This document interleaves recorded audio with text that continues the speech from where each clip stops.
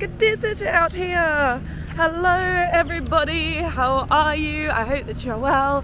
My name is Christiane and welcome to my channel Backpacking Bananas. I am currently traveling solo around Thailand and as you can see I'm on the move. This afternoon I just came from Khao Sok National Park. You will have seen the previous vlog of the fantastic time I had in Khao Sok and I have now just rocked up in a town called Khao Lak which is on the coast. It only took just over an hour to get to Khao and if I'm completely honest I don't know a whole lot about Khao It was just a recommendation that I received from some friends when I was in Koh Tao and apparently there's maybe some good diving to do here but other than that I don't know a whole lot. Now the van has dropped me off on the side of the main road. In an ideal world he would have dropped me closer to my hostel but my Google Maps was being really laggy and he had no idea where he was going. We've gone a little bit past the hostel so I just have to walk back a bit. Only like, I think it's like a three minute walk which I said is fine. But anyway, I'm just about to check into my hostel now and then we'll figure out what we're gonna do over the next couple of days. But before we continue, I'd like to introduce you to the sponsors of today's video, Surfshark. Surfshark are a VPN which stands for Virtual Private Network, which is essentially a tool that turns your internet private, which you may not be aware is even possible and how it can improve your experience as an internet user. So firstly, having Surfshark switched on prevents any hackers from getting into your device. When you're connected to a public Wi-Fi network, like in a cafe or in an airport for example, your device is at risk of being hacked. So it's essential in this day and age to have a VPN to protect all your data. A VPN also allows you to change the virtual location of your device. And by doing this, you are able to access Netflix from other countries, potentially get cheaper flights, and access any media that might be blocked in your country for whatever reason. With Surfshark, with the click of a button, you can change your virtual location to somewhere where that service is available, and suddenly your internet experience just became a whole lot better. Surfshark is one of the only VPNs where you can access it on an unlimited number of your devices with just the one account. And Surfshark are giving you guys an amazing discount of 83% off plus an extra three months for free when you use my code backpacking or using the link in the description. I'm guessing it's just like a really small hostel because I don't know, it doesn't look completely abandoned. It doesn't look like I've booked somewhere which just doesn't exist. It looks like there has been life here, but clearly just no one's here right now. I did request a check-in time between 1 and 2, and it's just before 2 o'clock, and they even replied to that saying, okay, so... Mm, don't know what to do with myself. I don't have a bell either. At least I tried calling on there. Hmm, this is the first time this has happened in Thailand. Yeah. What I might do actually, there's a cafe really close by. I might just leave my big bag outside here take my valuables bag with me and just go to the cafe nearby and get some lunch because I'm quite hungry. Here, it's just this one. Farang, which I'm pretty sure means foreigner in Thai. The Farang Coffee and Bakery. Sawadika! Um, you have food? Yes. It's cute in here. I've ordered a chicken baked potato and an iced caramel latte. Someone in a, a comment of a previous video said that you guys should drink every time that I drink an iced caramel latte. And I think it's a good drinking game because it happens a lot. Anyway, I've messaged them just saying that I'm waiting here in this cafe. I'm assuming they know what it is, and I've said I've left my backpack outside. I'm just getting some lunch, just in case they arrive shortly. I don't really know what to do in this situation. Like, other than what I'm doing right now, it's a bit difficult when there's just no one there at the hostel. A bit frustrating. Okay, it's been a couple of minutes, and I got a reply which literally just says, "Okay." is that okay? I'm gonna come meet you, or is that okay? Good for you. What, does that mean? Will you be at the hostel in 45 minutes? See, if they just reply okay again, oh. They did. They just replied okay just an automated reply. All right, it's three o'clock, which is the supposed agreed time that I'm gonna meet this guy at the reception of the hostel. So, take two, let's hope he's here. So it looks open, fantastic. Sawadika!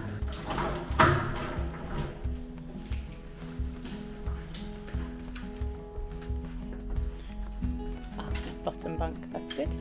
Thank you, this one, yeah, B2. So, the room is very nice actually, very, very clean. You get given a bath towel. I always love it when they give you a free bath towel in a dorm room because that's not super common. So there is a bathroom in here, there is aircon. That he said there was free tea coffee downstairs, and I am paying 268 baht for one night here in this dorm bed and it comes with its own locker as well. And there's a balcony. To be honest i don't think i'm going to be spending much time in this room but that's where I'm staying. It doesn't seem like there's any vibe here whatsoever, but whatever. It's just it's a nice, clean hostel. And uh, in the cafe, I was doing a little bit of research of what to do in Khao Lak, and it seems like the main thing to do is diving. And so tomorrow, I've pretty much decided I am going to do a day trip of diving. I'm not too sure where. It seems like there's quite a few places, like the Similan Islands, Koh Bon. There was like a few places which are like world class dive sites near here. So yeah, that's definitely what I want to do tomorrow. Um, uh, it's really common to do a liveaboard actually, but I'm running out of time in Thailand. I don't think I have time to do a liveaboard. Um, so I'm just going to do a day trip with two dives. So I've already rented a scooter. Um, just did it with the hostel downstairs. It's 200 baht for the day, um, and I'm just gonna head to a few dive shops now. Find someone nice who I think I want to dive with tomorrow. Organise that trip, and then if it's if there's still enough daylight, because it's like quarter past three now, I might try and head to a local waterfall just for fun because why not? And I've got the scooter and I want to make the most of it.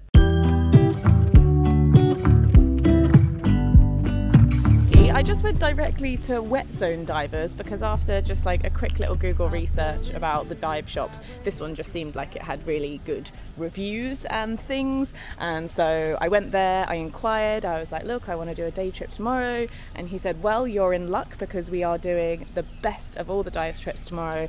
And it's to a place called Richelieu Rock, which is apparently according to him, God knows if he's bluffing, but I, I like to think I believe him, um, is the best dive site in Thailand and there is a chance that we can see whale sharks. It's an expensive trip for the whole day trip tomorrow, including transfers, including food, including equipment, two dives, 6,000 300 baht. And that includes the national park entrance fee as well which is 700 baht alone. So it's definitely a pricey thing to do in Thailand but you know, if it's the best diving here, I really want to give it a go. And then I also paid an extra 200 baht for diving insurance. So all in all, I'm paying 6,500 baht. Oh, it's painful for the backpacker budget, but I'm really hoping that it's going to be worth it. It's 10 to 4. We've still got a few hours of daylight. I am going to head to a local waterfall. I'm to have a look where it is and I'm to drive there. So I've got my scooter for the rest of the day, so let's make the most of it. Basically, I've run out of contact lenses and I thought I'd have a bit of luck trying to go to an optician and like getting some emergency contacts. But having now gone to two, the first one I went to didn't have them, they just had glasses.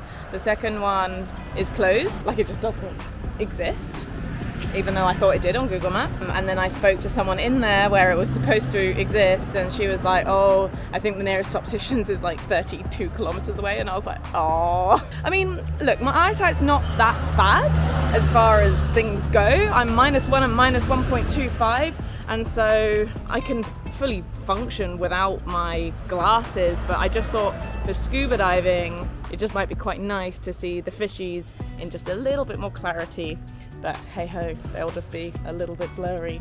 Oh, oh well. I mean, it's my own fault for running out of contact lenses. I'm getting my mum to send me my prescription actually in Australia when I arrive. Anyway, I'm going off topic. Let's go to a waterfall. Soi, Soi Rung. Huh? Soi Rung waterfall. Is that correct? Yeah, yeah, yeah. Okay. Rung, Tai Rung, rainbow. Tai Rung. Uh, uh, English word, rainbow. Okay. Uh, rainbow. Oh, rainbow. Uh, Tai Rung, Thai word. Perfect. I'll come for coconut after. Okay. Okay, Kobanka. I don't know if you heard that, but Sai Rung waterfall means rainbow waterfall, which is very nice. Uh, that guy runs the restaurant just there, and I promised I will go get a coconut afterwards, which sounds like a great plan. My friends Sedi and Ilvi recommended me to come here. They were actually the ones who recommended me to come to Khao Lak in the first place, and they said that this is a waterfall that they came to. Very beautiful. I just changed into my bikini quickly before coming over. Very slippy. What a graceful entry into the waterfall. Very, very fresh. There's like leaves on the bottom and I'm really scared to step on them.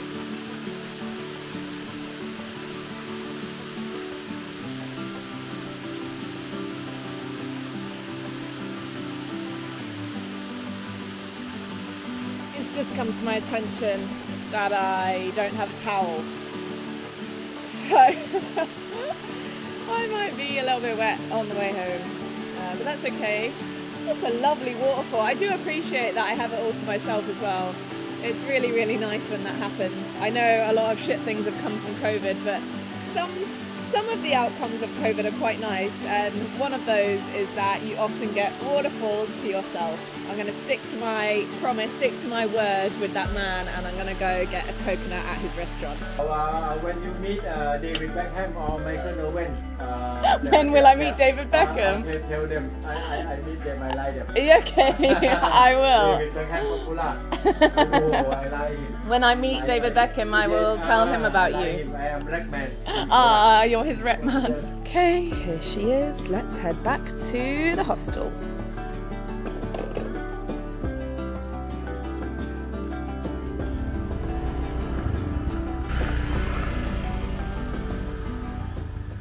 Okay, the sun sets in about half an hour. I'm back at the hostel. Still no one in the room. Everyone's like stuff is here. It seems like a full dorm. I just haven't seen anyone, so I will continue exploring by myself.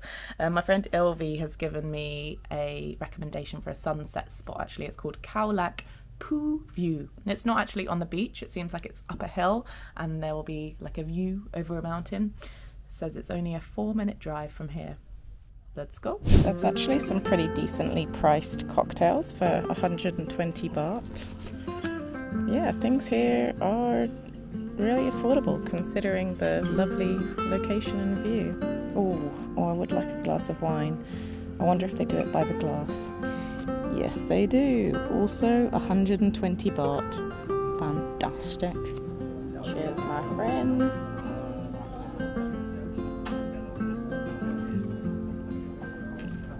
I've really made peace with being solo today.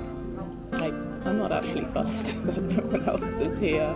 Maybe I needed this, maybe I just needed this alone time.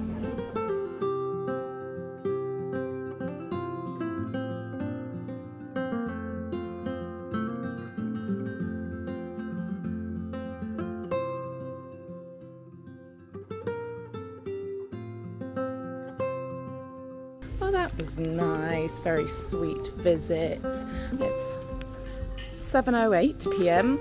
I'm going to go for sushi, and it's another recommendation I've had from my friends Seti and Ilvi, and they said it's the best sushi that they've had in Thailand. So that's going to be for dinner, and then I will just head back for, you know, a somewhat early, chilled night, ready for diving tomorrow. Here it is. It's called Yu Taro Japanese Kitchen.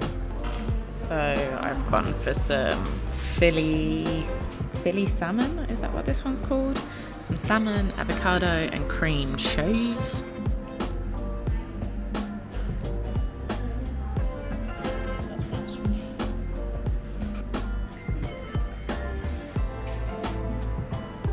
Oh my goodness, I was not expecting this to be so big.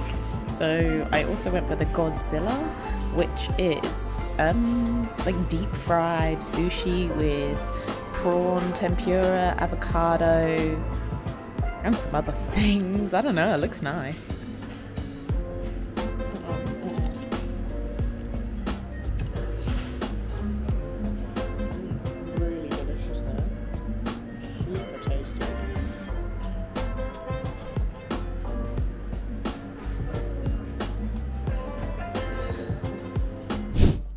Just got back to the room. It's 25 past 8. Still no one's here. Like I said, like everyone's bags are here. The beds are taken. There's just no people. I'm gonna get to work, go to sleep now, but I'm gonna be waking up early in the morning to go diving. So I haven't extended my stay in this hostel. Oh shit. I've got to figure this out. anyway, I'll see you in the morning. Yes. So we just got picked up from our accommodation and taken to the ferry port and now have to do a COVID test to get on the boat. Let's hope I'm negative, otherwise this is going to be real awkward. Yes, please. Thank you. Well, that's one line. I'm Neggy, baby. Fritz, Christiane, And Daniel sitting in the. I'm being called Christiane today because there is a guy on the boat called Christian or Christian. I would pronounce Christian, he pronounces Christian, and so that's all a bit confusing. So today I am Christiane.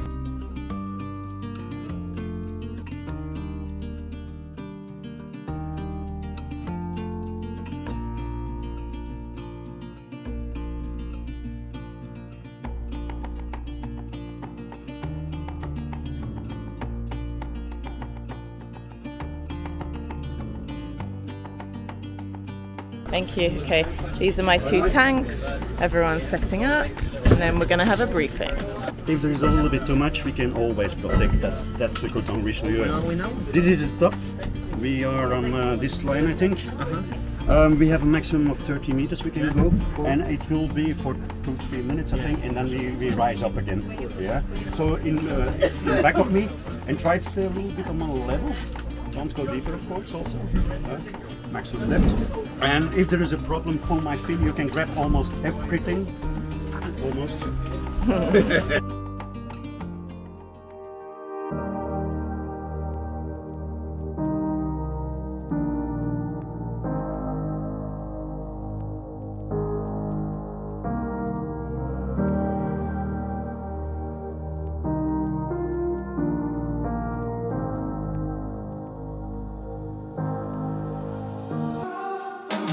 We just finished the first dive. It was very good, lots of fish, no whale sharks. Maybe we'll see a whale shark on the second one. That would be really, really nice. And it got a little bit confusing because I had a little bit of air left and so I was told to go to the other group.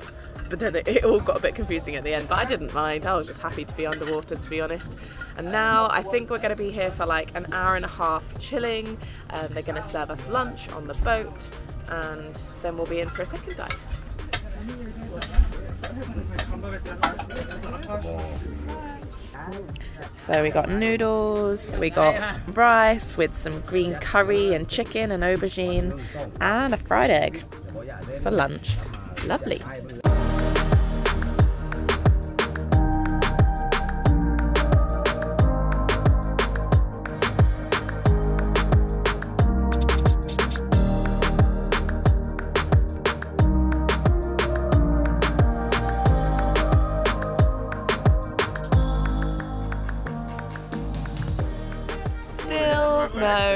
Whale sharks. The quest to see a whale shark continues. Um, I don't know if I've told you this. I've never seen a whale shark in my life. It's somewhere that on ev- it's something that on every single dive I am looking for, especially if they say that there's a chance of seeing one. Um, but alas, no whale sharks on this dive. But still, it was beautiful. So many fish. I love the big, big schools of those yellow fish. They were super, super cool. Make me feel very happy um, just to be there amongst it. So all in all, it was good diving. I think the visibility could have been a bit better, but yes, all in all, very, very good. I think now we're heading back to the mainland. It's going to be an hour, hour and a half, maybe a, maybe an hour and a quarter to get back. Because right now we are in the uh, middle of the ocean. Nothing's around.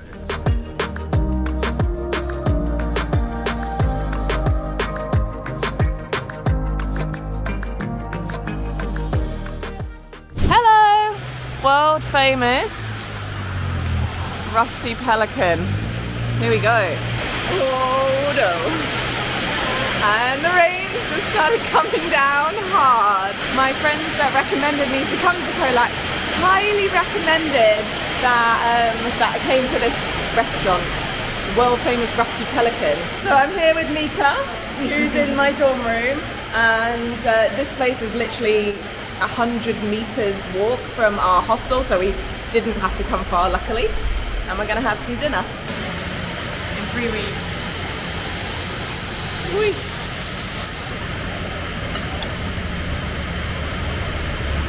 It's now the next day. I'm in the hostel dorm room and I'm just about to check out because I'm gonna get the bus at four o'clock to Phuket. In an ideal world, I would have got that beforehand, but apparently the only public bus going to Phuket is at four o'clock.